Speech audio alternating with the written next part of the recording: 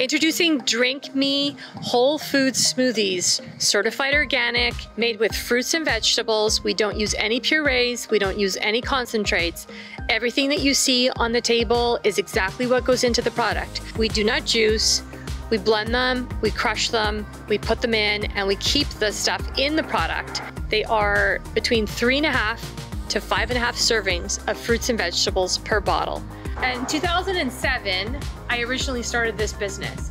I had just been diagnosed with multiple sclerosis and six months later, cancer, which ended up being stage four cancer. After multiple treatments, there was no more treatments available for me and I was sent home, doctor sent me home to create a maintenance program to keep myself healthy. I created a product for my own self. People started placing orders with me and before I knew it, I was making 400 drinks. So back in 2012, our products were first approved by Whole Foods Markets. It was an incredible honor and opportunity. And what we did was launched three products first into the freezer in Vancouver Whole Foods Markets.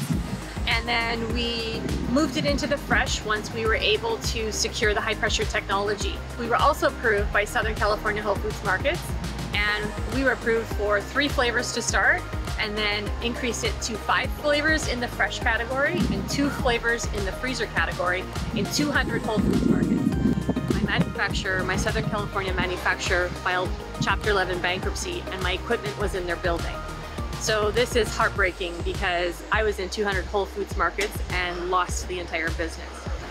When Whole Foods approved my products for retail sale again back in 2021, I was able to get a second chance at it and launch four products again in Whole Foods markets, four products in the Southern California region and three products in the Vancouver Whole Foods markets region.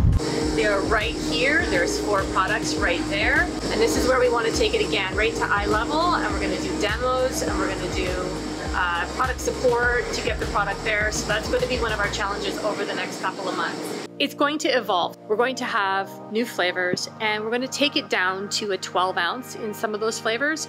And I'm, I'm actually uh, going to be going into a shot, a three ounce or a 250 milliliter shot. That has not been on the market yet, but it's something that I've been working on and product developing on myself for the past year. I'm ready to launch it and I'm so excited that we're going to be uh, launching all of this at the St. Norbert Farmers Market this summer. There truly isn't anything like this product on the market. I do have competition. Everything is a competition when you talk about the shelf space.